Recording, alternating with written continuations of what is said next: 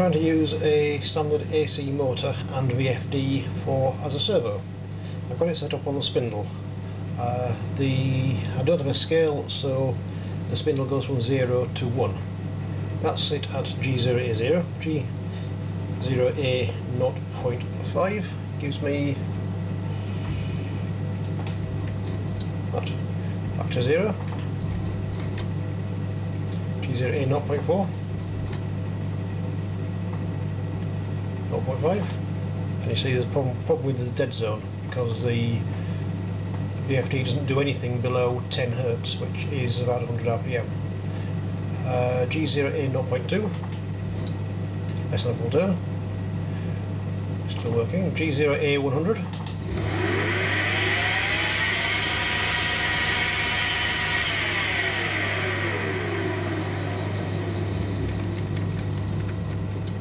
and back to zero.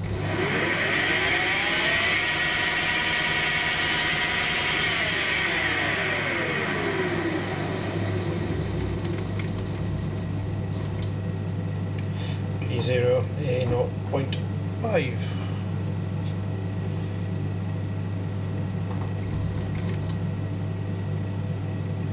Point two.